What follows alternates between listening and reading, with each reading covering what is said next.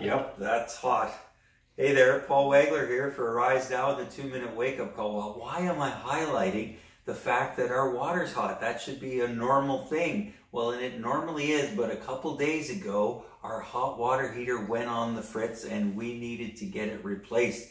I got up in the morning and the water was warm, but not hot. And I thought something is wrong. Well, that started the whole process and we got the hot water heater replaced. And we now have hot water once again. But this talk of, uh, of uh, hot water and lack thereof has got me thinking about a verse from Revelations chapter 3, verse 16, where Jesus is talking to the church of Laodicea and he says, I know your deeds, that you are neither hot nor cold.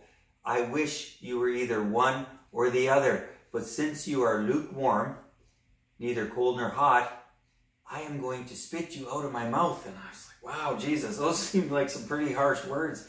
And, uh, and so it's got me thinking about hot and how do we stay hot? How do we live in that relationship with Jesus with the heart that is, is burning with passion and, and we're on fire for Him?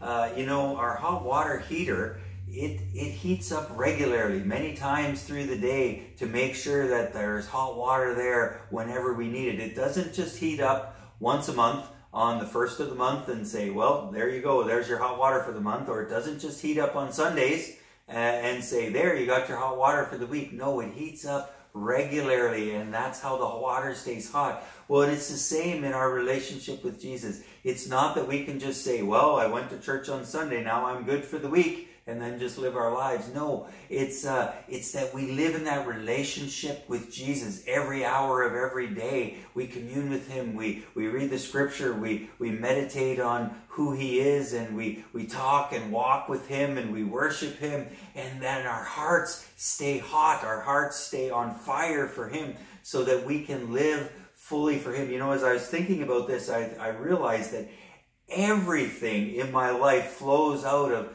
the relationship that I have with Jesus. And, and it's not just some side little thing, but no, it is the very foundation of everything that I do. And I want to invite you into that relationship with Jesus as well, where he becomes everything to you and your hearts are on fire. Your hearts are burning hot for him and that you live in that each day and you nurture that and uh, it will truly be a blessing. It gives tremendous meaning and purpose. If you are feeling like wow i don't have any purpose in my life and my life is lacking meaning i urge you and i invite you to give your heart to jesus and to say a full yes to him. Live in that relationship. Let your heart be set on fire for him and burn hot for Jesus each and every day, and you will find meaning and purpose in life that you cannot find anywhere else. Well, I just wanted to challenge you with that and to invite you into that journey with Jesus. And until we meet again, stay awake and stay alert.